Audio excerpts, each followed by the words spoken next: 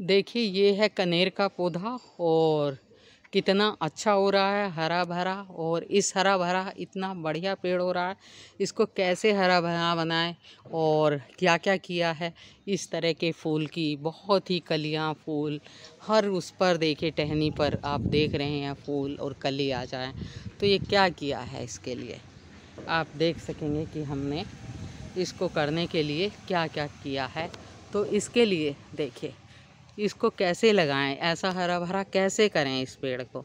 तो इसको लगाने के लिए मिट्टी कैसी चाहिए? हमें मिट्टी मिलाते समय ख़ास ध्यान रखना है, क्योंकि जितनी अच्छी मिट्टी होगी वैसा ही हमारा पेड़ होगा। तो इसमें लगाने के लिए इसे हम 50 परसेंट इसमें मिट्टी लें गार्डन की 20 परसेंट गोबर की खाद 20 परसेंट इसमें मोटी बालू वाली रेत और 10 परसेंट आप नीम की खली मिलाकर इस पेड़ को लगा सकते हैं। गमला कैसा चाहिए?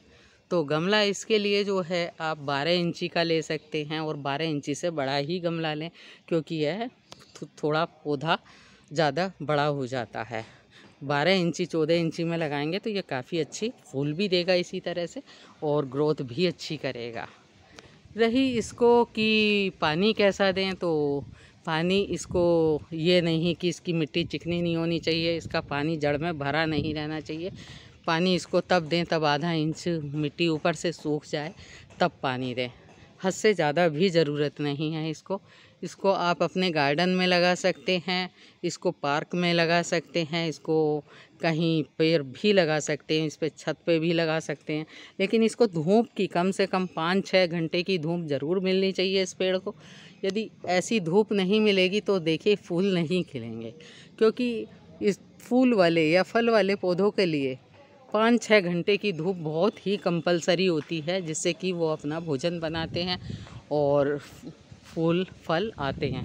रही इसको, जब ज़्यादा फूल वाला बारह मासी पो, फल फल या फूल देता है तो उसके लिए हमें, उसकी भोजन की भी अच्छी व्यवस्था करनी पड़ती है तो इसको महीने में एक बार वर्मिंग कंपोस्ट गमले में चार चम्मच ज़रूर दे दें, जिससे कि अच्छी तरह से ये आए, फूल आते रहें। रही इसकी ग्रो कैसे होता? तो देखिए, ये ग्रो कैसे होता तो आप इसकी देखिए, इतनी छोटी सी कटिंग काट के मिट्टी में लगा दीजिए, बस उसी से यह पौधा आपका ग्रो हो जाएगा। बाकी इसमें कोई देखभाल की ज़रूरत नहीं होती और इसमें यदि मिली बग जैसा या कोई कीड़ा लग जाए तो नुआन की पाँच बूंदे एक लीटर पानी में डालकर आप छिड़काव कर दें। यदि वह भी नहीं है, आप घर का ही इस्तेमाल करना चाहते हैं तो शैम्पू जिसका पाउच होता है, एक रुपये वाला, उसका आधा पाउच दो लीटर में पानी में मिलाकर छिड़काव कर दें, तब भी मर जाएगा इसका।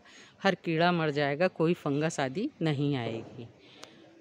रही इसकी कि नीचे यदि फंगस या दिमाग आ जाए तो आप फिटकरी और नीले तोते का थोड़ा सा घोल करके और इसकी जड़ में पानी डाल दें, तब भी कोई फंगस वगैरह नहीं आएगी।